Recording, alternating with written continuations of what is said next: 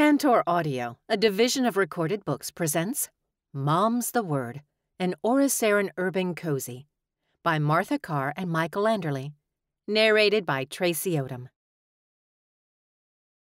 Chapter 1 Lucy Heron stepped off the Silver Griffin's private magical subway car, with its steaming engine and its gleaming blue carriage, and into the station hidden in the hillside beneath Griffith Observatory. There was seldom a crush of people on this line. It didn't cater to the broader magical population, never mind the mundane humans who filled the streets of L.A., oblivious to the society of witches and wizards, elves, dwarves, gnomes, and other magical creatures hidden within their city. Still, every commuter line was going to see some extra bustle on a Monday morning, and she let a small crowd of wizards, witches, and administrative gnomes flow past her before heading across the platform to the station keeper's office. Normandy the gnome sat behind his counter, peaked cap sitting jauntily on his head and buttons gleaming on his uniform. He smiled and raised the window as Lucy approached. Good morning, Agent Heron. Did you have a good weekend? It was lovely, thank you. Lucy's northern English accent added roundness to the vowels. Charlie and I took the kids for a walk in the country, then to the archaeological site Dylan's going to help at. He must be very excited. Him and all his friends. They think they're going to be the next Indiana Jones. I hope they're not too disappointed when it's all dust and tiny trolls. Lucy set down her Wonder Woman travel cup with steam curling off the top of her tea and opened her Batman backpack. I managed to do some baking with Eddie, too, so these are for you. She handed Normandy a paper bag full of chocolate and peanut cookies. The gnome beamed. They smell delicious. Thank you, Agent Heron. Thank you for keeping this place so well for us. Lucy zipped her bag shut and picked up her tea. Looks like the crowd's gone, so I'll head on up. See you later, lad. And you, Agent. A short walk along a tunnel, then a climb up a steeply spiraling set of stairs took Lucy to a secret door into the Griffith Observatory, close to the planetarium. The whole place was quiet this early in the day, so she didn't have to worry about dodging tourists as she made her way past the planetarium and the pendulum, down an exhibition hall, and through a secret doorway opened by a tap of her wand. In the reception of the Silver Griffin's LA base, the last few agents from the morning rush were still in line to pass security procedures. This is ridiculous, a gray haired wizard said indignantly. I've been working here for decades. You know who I am. That's exactly what a doppelganger would say, the receptionist said curtly. So if you want to come in, you'll need to get your wand out. This is outrageous. A jumped up nobody getting ideas above his station. Wand, please. The receptionist's smile was brittle. You can't talk to me like this. That works both ways. Now, please, your wand. With a derisive snort, the wizard placed his pine wand on a box on the reception desk. A light on the box flashed red. Behind the wizard, Lucy drew her short, knobby wand, just in case. Damn thing's clearly broken. The wizard slapped the box. You should get that looked at. Actually, we had it tested this weekend. The receptionist slowly reached under his desk. Why don't you give it another try? Fine. The wizard made as if to place his wand on the box again, then let go of it and grabbed the receptionist's wrist before he could press the alarm button. Oh, no, you don't. The receptionist tried to jerk back, but the wizard gripped tight and yanked him forward, slamming his forehead into the receptionist's face. For a moment, the wizard's wrinkled features turned into something blank and pale. Stupefaccio! Lucy waved her wand. The spell hit the wizard, who went limp and fell to the floor, stunned. His face rippled, and the wrinkles vanished, along with the sharpness of his nose, the jutting chin, and the piercing brightness of his eyes. They left behind a face as blank and featureless as a mannequin in a department store window. This is why we need security checks. The receptionist rubbed his nose. He picked up his desk phone. Security to reception, please. We have a doppelganger again. He sighed as he put the phone down. Probably hired by one of the criminal gangs, trying to get in and find out about security for the crown. What crown? The receptionist blinked, then put on another brittle smile. Nothing. I probably misspoke, and if I didn't, it'll be somebody else's job to tell you. He pointed firmly at the box on his desk. Once you pass security, that is. Lucy tapped her wand on the box. This time the green light came on, and the receptionist waved her into the office as a pair of security witches appeared to take the doppelganger away. Jackie Kowal was already sitting at the desk opposite Lucy's, a big mug of coffee steaming in front of her as she stabbed furiously at her keyboard. Something annoying in the inbox? Lucy asked. Always, Jackie said. How am I supposed to get any work done when people want me to go to endless meetings and fill in stupid forms? Because I got people's asses into gear for the cleanup after Mr. No, I have to waste my time on messages from the director of this or the head of that. Senior management is talking to you? Kelly Petrie asked through the sneer on her perfectly made up face as she walked past. Are you sure they haven't got your email address mixed up with someone else? Very funny. You can have all these emails if you want. I only want to go chase some rogue magicals. At that moment, a pigeon landed on top of Jackie's monitor with a message wrapped around its leg. Not another one! Jackie glared from the bird to two others pecking at worms near her wastepaper bin. Bureaucracy is going to be the death of me. Excuse me, Agent Heron. Sam, the regional manager's PA, had appeared silently by Lucy's desk. Mr. Applegate would like to see you in his office. Ha, Jackie said. This time it's for you. Have fun. Thanks, Sam. Lucy took a paper bag out of her backpack, picked up her tea, and headed for Applegate's office. Through the glass wall and open shutters, she saw two other people sitting inside talking to the boss. She knocked, then walked in and placed the paper bag on Applegate's desk. Some biscuits for you, sir. She smiled. I hear that you're still recovering your strength, and chocolate chips are medicinal. Roger Applegate gave a jovial laugh and patted his belly.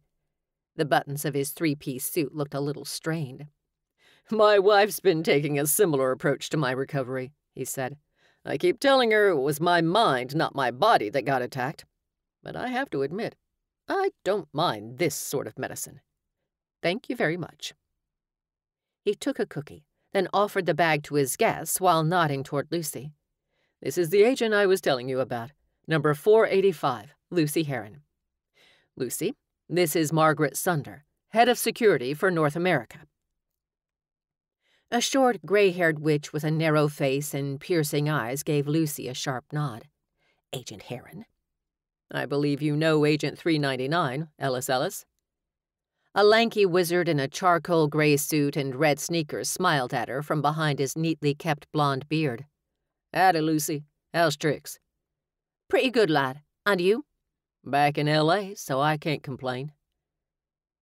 Lucy knew what that meant but she didn't think that Ellis would want her to ask about his dating life in front of their bosses. Roger tells me that you're one of his best agents. Margaret Sunder studied Lucy as she spoke. And that you also have some knowledge of art and galleries. Mr. Applegate is too kind, Lucy said. There are lots of agents here as good as me. Yes, I do have some art knowledge. I worked in a gallery in Leeds in my teens, back when I wanted to be a curator and I still get to exhibits when I can. Excellent. Then I have a project for you. Sunder waved her wand, a slender strip of birch with a velvet grip, and an image appeared in the air. It consisted of a dozen different objects, most of them made from silver or gold, several decorated with gemstones. They included candlesticks, a bowl, a dagger, and a crown. This is part of the Trakai hoard, a collection of medieval metalwork discovered in Lithuania at the turn of the millennium. It includes several magical artifacts, which we were unable to secure before details of the hoard went public.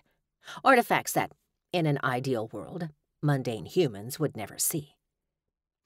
Because of its historical and financial value, the Hoard became instantly famous, and we were unable to take control of it. Instead, the Silver Griffins have been covertly providing magical security around the items for over 20 years. During that time, we've built up a robust network of security magics around the Hoard's usual home. There have been multiple attempts to steal all or part of the Hoard, none successful. Now, part of the Hoard is leaving Lithuania for the first time since its discovery. For the next six months, this part will form an exhibit at the Los Angeles County Museum of Art. It's a matter of absolute certainty that one or more magicals will try to steal parts of the exhibit. We need someone who understands both magic and museums to arrange suitable covert security for as long as these items are in LA. Are you up to the task? Yes, Mum. The items shown in the images were beautiful. Lucy couldn't wait to see them up close as well as to have an excuse to hang out in the art museum. This was going to be the best assignment ever. I'll make sure they're secure. Excellent. Agent Ellis will stay in town to provide a liaison from my office. If you need anything from me, let him know, and I'll ensure it gets immediate attention. Sunder stood and headed for the door. Roger, I'll speak to you later. She nodded a curt goodbye and headed out followed by Ellis. Left alone with Applegate, Lucy turned to her boss with a grin. Thank you so much, sir. This is going to be brilliant. You've earned a chance to do something you'll enjoy. Applegate brushed crumbs from his vest, not only for the cookies, but for all the times recently that you've saved us from disaster. I'll send you details of the assignment, but for now, Perhaps you should spend the day scoping out the gallery, really get a sense of the place. He grinned. Have fun, Agent Heron. Chapter 2 A mile away from the observatory, a subway train stopped in a station on the main magical line. Elves and dwarves, gnomes and willen, witches and wizards all poured out. Some of them were commuting into town from the edges of L.A but others had traveled across the country to do business. Some had come even farther. As the rush hour crowd dissipated, a dozen witches and wizards gathered together on the platform. They spoke to each other in nearly as many languages as there were travelers, though with a skew toward German and Eastern European tongues. All of them wore comfortable clothes and carried suitcases, as well as backpacks and long, slender bags that hung from their shoulders. Gruffbar the dwarf stroked his neatly trimmed beard as he watched the travelers from the side of the platform. This would be the first time he met these clients in person, and he liked to get an idea of who he was dealing with before he approached. They were what he had expected from an ancient order of magical warriors muscled, alert, with the same sort of bright, confident energy as professional athletes. Not that Gruff Gruffbar's law work involved many sports people but he'd seen them on TV, and he was a decent judge of what made a person distinctive. The Knights of the Hinterland were certainly that. He raised a hand in greeting as he approached. I'm Gruffbar Steelstrike. Is one of you Clara Schultz? A witch in her late forties stepped out of the small crowd.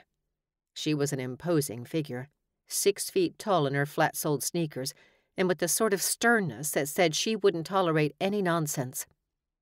Her handshake was intimidatingly firm and left Gruffbar confident that there were plenty of muscles underneath her loose sports clothes. Guten Morgen. I'm Schultz, the Chancellor of the Knights of the Hinterland. This is my deputy, Oscar von Königsberg. The young man standing next to her gave a curt nod.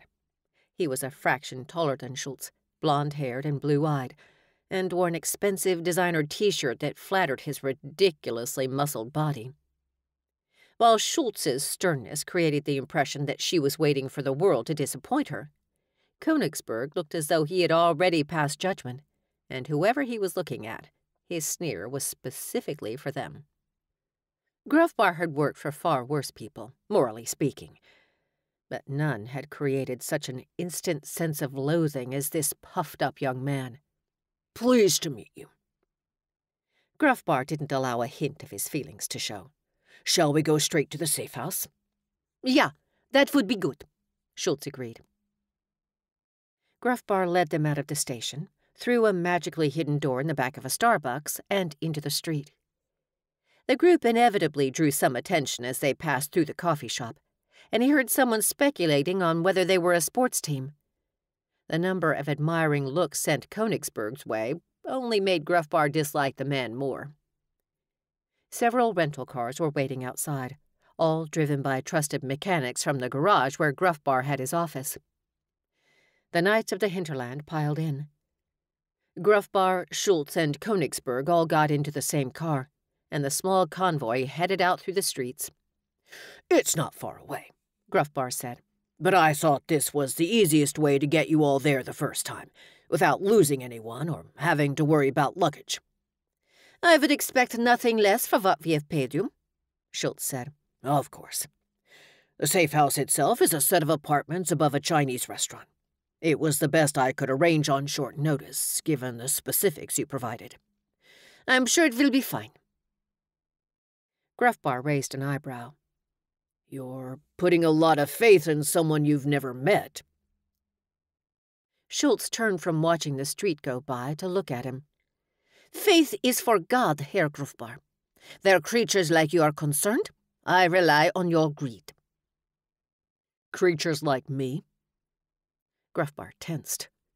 You have a problem with dwarves? Not dwarves, lawyers. Few few people are anything but mercenaries. And if there's one thing that our order has learned down the centuries, it is the limit on how far we can trust a mercenary. Gruffbar laughed. That's fair. As your current sword for hire, is there anything else you want from me? Nine. Our business is our own. If we need you, we will find you. You make it sound like you'll hunt me down. You know you have my number, right? I know. But if I need to, I will hunt. They pulled up in a back street beside a set of dumpsters. The knights got out, and Gruffbar led them inside, up the stairs to their apartments.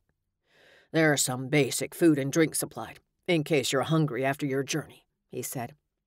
Though, by the looks of you, I guess you'll want protein powder more than coffee and croissants. We can shop once you're gone. Schultz put her bag down in the corner of the first apartment. Thank you, Herr Gruffbar.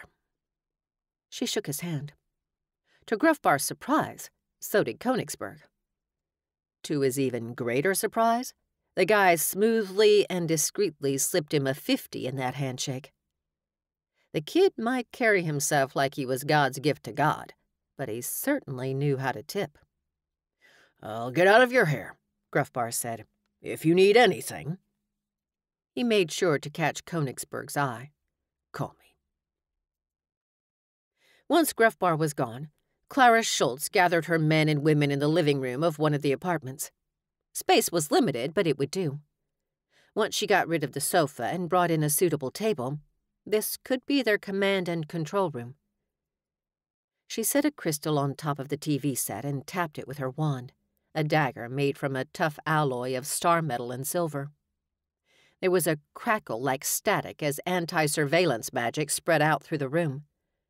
That wasn't only for the dwarf's sake though she knew what sort of clients he usually worked for and therefore how little they could trust him. More important was keeping anything said here from the ears of the Silver Griffins. If they knew what the group planned, it would put everything in jeopardy.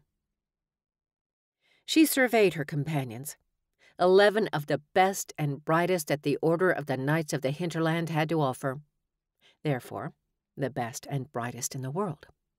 Strong, smart, skilled, and committed to their cause. There will be many distractions in this city. Centuries ago, when the Order had ridden into battle alongside the Teutonic Knights and the Sword Brothers, their leader would have addressed his troops in German, the language of the Order's founders.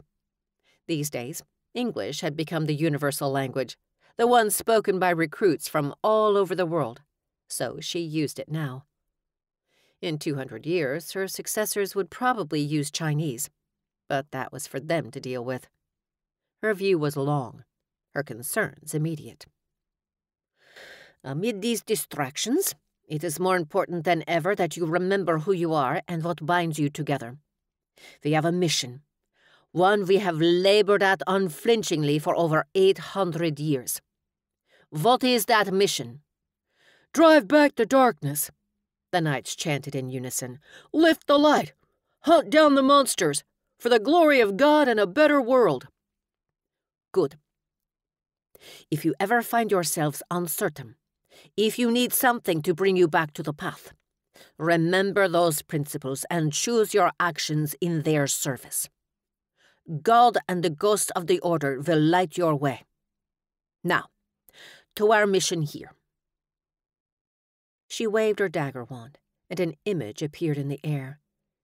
It was a crown, crafted from intricately intertwining strands of gold, with red gemstones like droplets of blood around the outside and sharp points gouging the air above. The Grand Master's crown, stolen from the Order by a heathen Samlander sorcerer during the Secret Crusade, hidden away for centuries. Without it, we have been unable to appoint a Grand Master or access the full magic of that post. For centuries, chancellors such as myself have guided the Order, but we have been without a true leader. The time has come to end our long period of deprivation. We have found the crown, and we must reclaim it. No one will simply give back what is rightfully ours. We must earn it once more by force of arms, of wits, and magic. For the glory of God and a better world, the knights chanted. Indeed. The crown is on its way to Los Angeles. There better for us to retrieve God's gift to us than in this city of angels. What is the plan? Oscar von Königsberg asked. The crown will arrive in the city within the next few days. We will seize it during the journey to the museum and leave using the magical subway. What if that first attempt fails? Some leaders would have resented a subordinate questioning the infallibility of their plan. Schultz was not that sort of leader. She was too smart, too experienced, too well versed in the history of the Order to believe that every fight would end in victory, no matter how well they planned.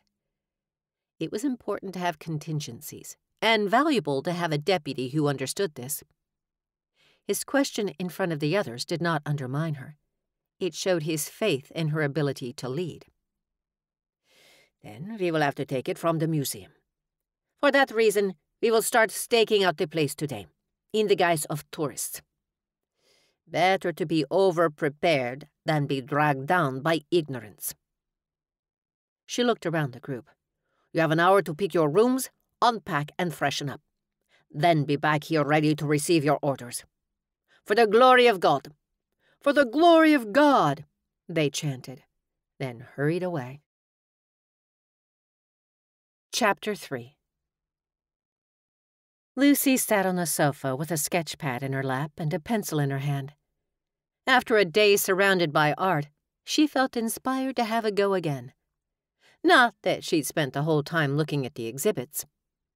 Applegate had sent her to LACMA to assess the layout and consider the best options for magical security, and that was exactly what she had done. She'd poked her head into every corner of every corridor, gone along every public hallway, and used her wand to get into the places where the public wasn't supposed to go. She had thoroughly assessed the layout and the challenges it offered, and tomorrow she would start work on a plan to keep the artifacts secure in a building like that. Still, you couldn't spend all day in an art gallery and not take in the wonders around you. She had taken the opportunity to see paintings, drawings, and sculptures, to take her time with the art. Normally, she only got to visit on her lunchtime, or with the kids in tow, and either way led to a rushed experience. This time, she had slowed down and enjoyed herself. Although she had been thinking about art again recently, this was the first time she had felt truly creative. Seeing the amazing things that others did was inspiring. She wouldn't be able to imitate their achievements, but she could at least draw inspiration from them. Once she got through dinner and settling the kids down for the evening, she'd grabbed her old notebook and pencil and sat, fizzing with creative energy. The problem, she now realized, was that after so long without setting pencil to paper, she didn't know where to start. It wasn't like going to a drink and draw class with Charlie, where they'd been given a focus for their work. It wasn't like when she had done this regularly, and each time she drew, she was working on something left in the air from the time before. With a potentially infinite range of options to choose from, and without the grit in the oyster that would turn into a pearl, she didn't know where to start. Buddy the dachshund wandered into the room, hopped onto the sofa, and flopped his head down in her lap. Hey there, lad. Are you looking for some attention? She ruffled his ears and stroked his head. He let out a low, satisfied grumble and dribbled slightly on her jeans.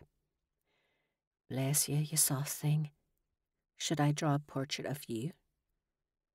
But he didn't say no, so she set to work putting his image down on paper.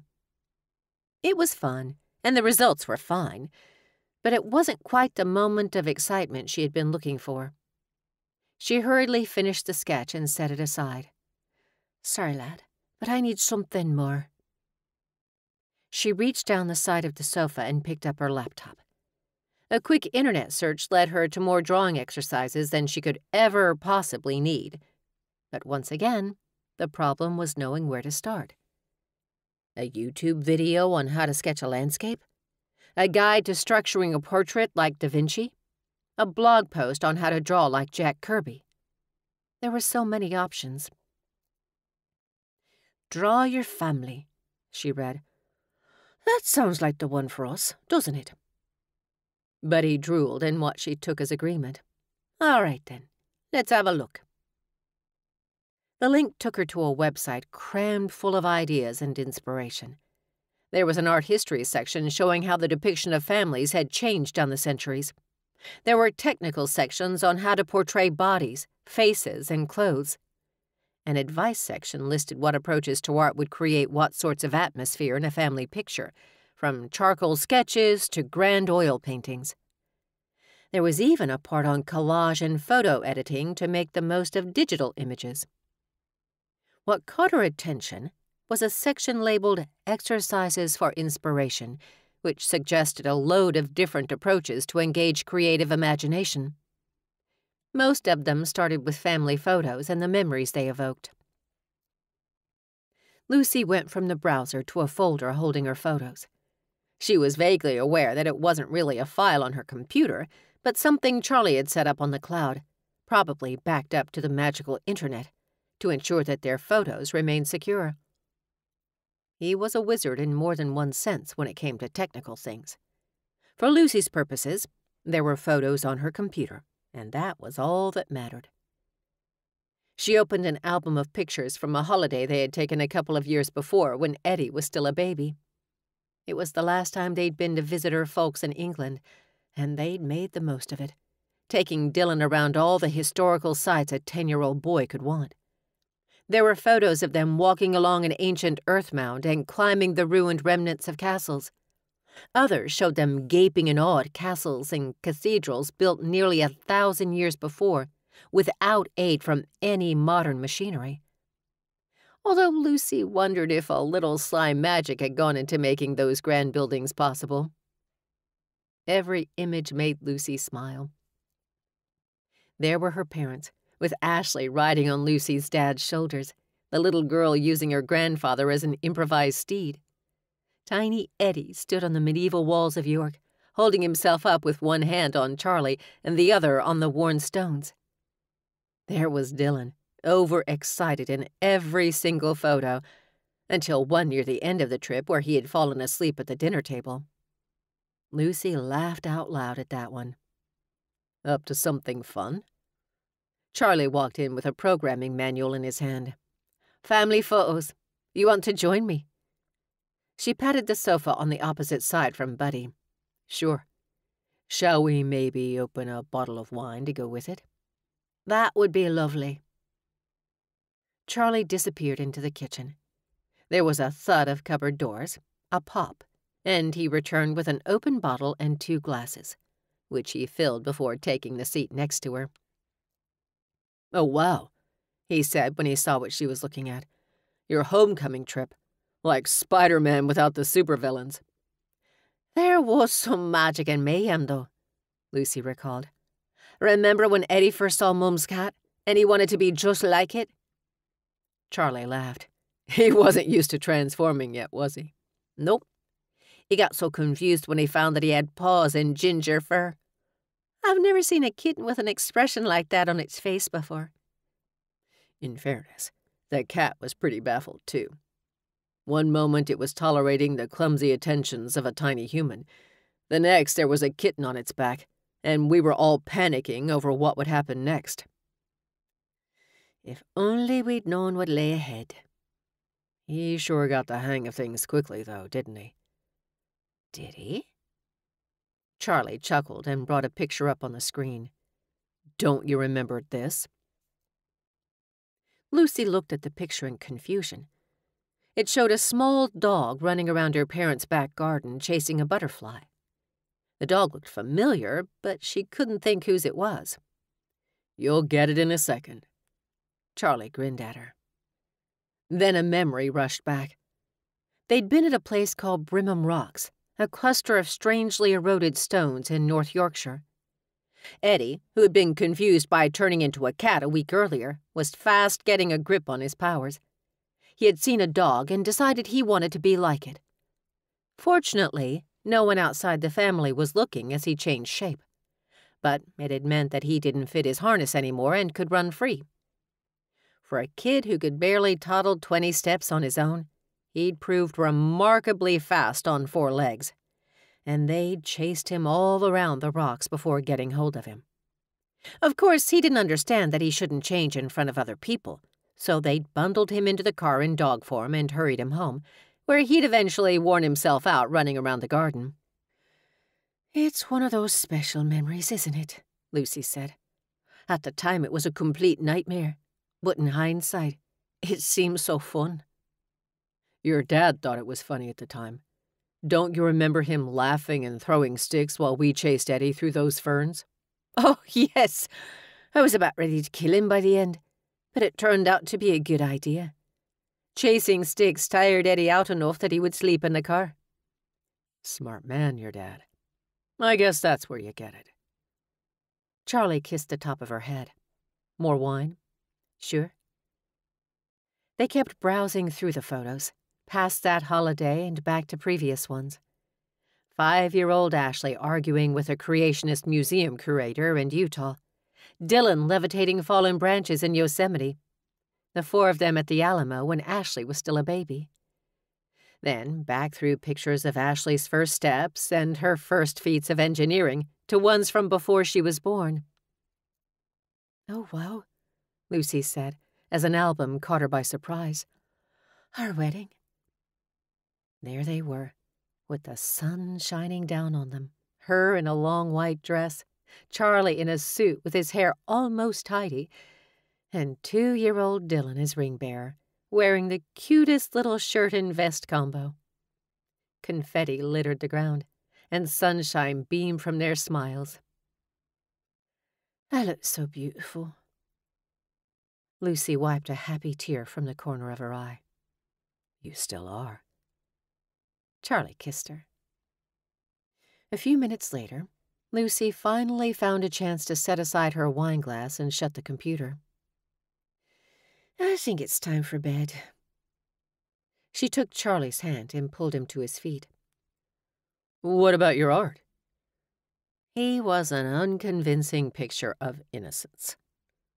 Lucy snatched up the pad and pencil. All the great artists draw nudes. I need a model. She waggled her eyebrows. I'm not sure I'm ready to be immortalized that way. Then you better find something else to keep me entertained. Chapter 4 It was a lousy morning for traffic, so Jackie was in a bad mood by the time she walked from the observatory into the Griffin's reception and slapped her wand down on the security box. Be careful with that, the receptionist glared. You might break it. Good, Jackie growled. Then I wouldn't have to go through this every morning. The light turned green, and she strode through the door into the Griffin's HQ. Her mood didn't get any better when she saw a cluster of griffins, including field agents and admin gnomes, gathered around her desk. What are you lot doing here? she asked. Don't you have your own space to clutter up? I do, said a low, genteel voice from the center of the group. Are you going to make me go back to D.C. so you can sit down? Uncle Harold? Jackie pushed a wizard aside to get through to her desk. Sure enough, sitting in her swivel chair was a gray haired man in a three piece suit with a blue pocket square and a watch chain dangling across one side. He smiled and stood to greet her. Little Jack Jack, it's been far too long. Jackie hugged her uncle, and in the process glared over her shoulder at the surrounding crowd to try to make clear how bad the consequence would be for anyone who repeated the phrase, Little Jack Jack. Judging by their smiles, that message wouldn't be as strong as the temptation to amuse themselves at her expense. But she had ways of evening those scores. For now, she was too happy at seeing her uncle to make a fuss. Director Kowal was telling us about his work in the 70s, Sam said, trying to keep the peace between American and Soviet wizards during the Cold War, hunting gremlins through the New York disco scene, trapping unquiet spirits in post war Vietnam. It sounds amazing. You're too kind, Harold said. I was happy to tell a few old war stories for this young. He looked at Sam. Woman? Man? I'm sorry. Modern fashions confuse me. Jackie cringed in horror. But if Sam minded, it didn't show. Instead of outrage, Harold received a smile. Young person will do, Sam said. Young person, then. Though, of course, everyone's a young person compared with me now, and it's kind of anyone to indulge me in my old stories. Are you kidding? This time the excited exclamation came from Jim, one of the office's youngest field agents. You're an absolute legend, sir. It's fantastic to have you here. You're too kind, Harold said. Now, if you don't mind, I'd like a chance to catch up with my niece. The crowd reluctantly dispersed, and Jackie pulled up a chair next to Harold. Do you want a coffee? Kind of you to offer, Jack Jack. But young Applegate got me one already. Roger Applegate, our manager, made you a coffee? Oh, yes. He remembers how I like it from back in the day. Applegate never even makes coffee. What can I say? Harold winked. I don't need to tell people to jump. They know to lift their feet for me. Jackie laughed and shook her head. Is that why you're here? To entertain yourself by making Senior Griffins nervous? Surely you can get more of that sort of fun in D.C. What can I say? Variety is the spice of life. Harold sipped from his cup, then grimaced. No wonder Roger doesn't make his coffee. He's terrible at it. Where's good around here? There's a place down the hill called Maru. Might be a bit hip for you, but they know how to make a brew. Hip, I can cope with if it saves me from one more damn cup from Starbucks. Why we made a transport deal with those ridiculous hippies and their burnt coffee beans is beyond me. Harold closed his eyes. Ah, yes, Maru. Got it. He opened his eyes, pulled out a well worn wand, and twitched it in the air. A portal appeared, gold magic glowing around the edge of something darker. Uncle Harold, you can't just go opening portals, Jackie exclaimed. We're supposed to stop unregulated magic. Young lady, I wrote half the rules. Magic doesn't get more regulated than me. Now come on, we're going for coffee. My treat. He stepped through the portal, and Jackie hurried after him. They emerged onto a building site, concealed from the road by six foot fences, and when they appeared through those fences, they were only two doors down from Maru. These were the moments with Uncle Harold that amazed Jackie. She was used to the grand stories of high adventure and historical events. Everyone in her family seemed to have them, thanks to generations of service in the Silver Griffins. She'd grown up with stories about Uncle Harold in Berlin, her mother's battles against jinn in the Saudi desert, and the distant ancestor who had stopped the first two assassination attempts against Lincoln, the magical ones that they were allowed to stop. Those stories might seem remarkable to everyone else in the office, but to her they had become mundane. Seeing the precision and subtlety of Harold's magic, the ability to target a spell or open a portal at the right place and time, was amazing. It wasn't just history. It was a gift. They walked up to the coffee shop, placed their order, and found a seat. As usual, the waitstaff seemed charmed by the quaint, gray haired man with his old fashioned suit and the twinkle in his eyes. Harold had always seemed old to Jackie. He was the oldest of his generation of Kowals, while her father was the youngest, and she was the youngest of her set. That put more than a simple generation's gap between them. And though he wasn't quite into grandparent territory, He'd always seemed like something from a bygone age. Sprightly, forceful, but somehow at odds with the modern world. I saw your parents last week, Harold said. Your mother wants to know whether you have a boyfriend at the moment, or even a girlfriend. She's not fussy how the grandkids happen as long as she gets them. Mom has the others to give her grandkids, and if she wants to know about my love life, she can ask me directly. Sure she could. But gossiping is far more fun. You didn't seem so keen on gossip after I drank you under the table at Grandma's wake. I believe that session was a draw. Draw my ass. You fell asleep with a salt lick on the back of your hand and a lemon wedge halfway up your nose. Harold chuckled. Ha ha, fun times. Their coffee arrived, and they took a moment of comfortable quiet to enjoy the first few sips. Seriously, though, Jackie said, what brings you to town? Partly, I've been looking for an excuse to catch up with you. Don't make that face, Jack Jack. You know I mean it. Life's always more fun around my favorite niece. You said partly. There's this Trakai Hoard exhibit, too. Half the wizards in D.C. are talking about it. After 20 years of guarding those objects, parts of the Order of the Silver Griffins have gotten a little obsessed with them.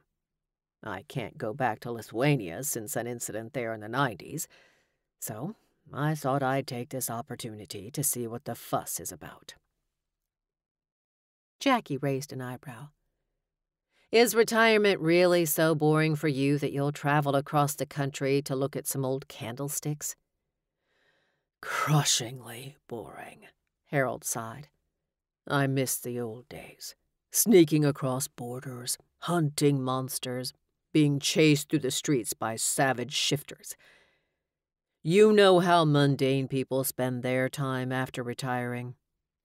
Coffee mornings and cruises. You either spend three hours over a bad coffee in some lifeless chain coffee store, or you lock yourself up in a floating tin can for weeks on end. That is no way for a person to live. It can't be all bad. Surely you and Aunt Adele are enjoying spending more time together. Oh, yes, that part's great. But you can't spend your whole time with a single person. Everyone needs something for themselves, Adele included. She's been begging me to find a hobby and leave her some time to herself. So you came to L.A.? Exactly. He took another sip of his coffee. Now, come on. I spent half an hour telling my stories to your colleagues. You must have some stories you can tell me. From what I hear, it's all been kicking off in L.A. this year. They sat there for an hour while other customers wandered in and out, and Jackie told stories about what had happened with the LA Griffins in the past few months. They defeated Zero, the magical loan shark. They brought down Meredith Womack's crime school. After that, they destroyed the smog monster that had tried to choke the city. Most recently, they'd captured the Dreamstalker, Mr. No, who had sapped away part of the vital life force from dozens of people, including Applegate. It was satisfying to tell the stories, to have someone ask about the role she had played and praise her for her achievements. However, she was painfully aware of how different the focus was from when Harold told his tales, or anyone else in the family, including her siblings. With their grand magical tradition, Kowals were usually the center of the story, while Jackie often found herself on the fringe, a supporting player to Lucy Heron. It wasn't something that had ever bothered her until now, and if she had been talking to anyone else, it still wouldn't have. Still, there was something about talking to a family member, even one as fun as Uncle Harold, that cast things in a different light. The family had a reputation to maintain, and she wasn't contributing.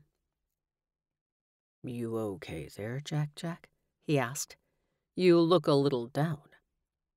I'm fine. You know what'll cheer you up, Harold said. Get out there and get laid. Uncle Harold, you can't say things like that. She realized it was gross hypocrisy, that she only objected because of who was saying it. But she stood by her words. Your face! Harold laughed and slapped the table. Your mom bet me I wouldn't say that to you, and now she owes me a steak dinner. I'm so glad I'm getting you fed. Jackie rolled her eyes. Now I definitely am going back to work. Dinner later? Sure, but no steaks. And no more talk about that, understood? All right. Uncle Harold stood and hugged her. It's great to see you, Jack Jack. You take care. Chapter 5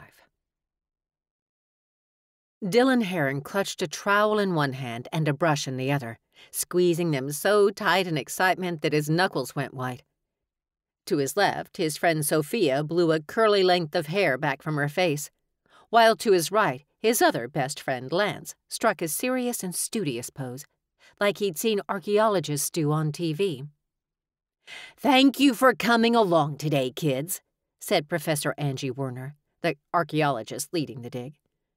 She had a bright smile and dusty hands, as she'd already been working alongside her team while the child volunteers were in school. This is an exciting experiment for us, giving young people a chance to do some real live archaeology, and we hope it'll be equally exciting for you. Three different schools had offered their pupils a chance to join in the dig, and Dylan had assumed that would mean that there were masses of kids there, that he would struggle for an opportunity to talk with the archaeologists. He didn't know whether to be disappointed or pleased that so few of his classmates had cared enough to join, meaning that there were fewer than 20 volunteers in total. At least it meant that he had a better chance of learning, and when it came to history, that was a good thing. It might not look like much, but this is a very exciting opportunity for us. Professor Angie led them across the site. To one side was a row of half built houses, while the other side was a wasteland. A mechanical digger sat motionless by a heap of dirt before the archaeologist's trenches. We're lucky that the company building these houses is run by a man who's interested in history. When he found something he thought might be an old building, he contacted the university right away and rearranged his construction plans so we can do a full dig. I thought you said this would be fun, Sophia whispered to Dylan. It will be, he replied. You mean it had better be. We've given up band for six weeks for this. Professor Angie pointed down into a trench, where students and professors carefully scraped one layer of earth away from another layer. What we're looking at here is a pre Columbian settlement. Who can tell me what that means? Several hands shot up, Dylan's among them. He was pleased to see that he wasn't alone in his enthusiasm. Yes, you. Angie pointed at him. It means that it's from before Columbus reached America and Europeans started coming here, he said, apart from maybe some Vikings and Basque fishermen of Newfoundland. Wow, somebody's really done their homework. Angie smiled widely. This settlement is from before the Columbian Exchange, when people and goods started moving regularly back and forth between America. We hope you enjoyed this preview. To continue listening to this audiobook on Google Play Books, use the link in the video description.